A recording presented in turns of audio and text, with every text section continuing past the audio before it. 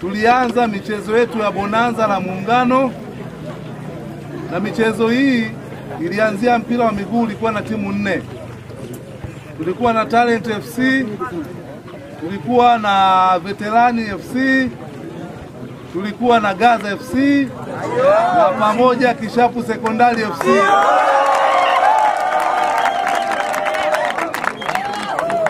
Kwenye mechi ya kwanza Jumatatu kati ya Gaza na Talenti aliibuka mshindi Gaza.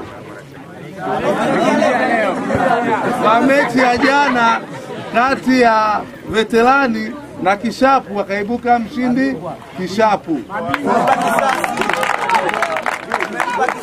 Kwa hiyo wanasema wamelipa kisasi cha zile fainali za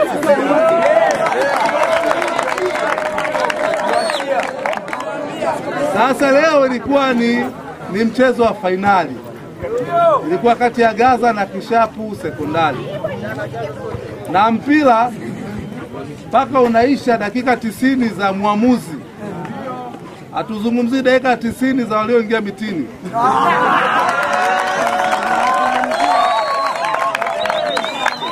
Dakika tisini za mwamuzi alibaki uwanjani mpaka zikaisha, akapuliza na aliyetangazwa mshindi ni Kishapu Sekondari.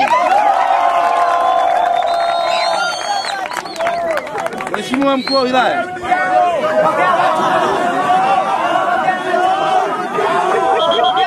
jamani, tusikilizane. Tunaye mgeni wetu rasmi, mkuu wa wilaya ya Kishapu ambaye ndiye atakayekabidhi vyeti vyetu, lakini pia tuna viongozi wa kamati ya, mash, ya, ya, ya, ya michezo ya wilaya.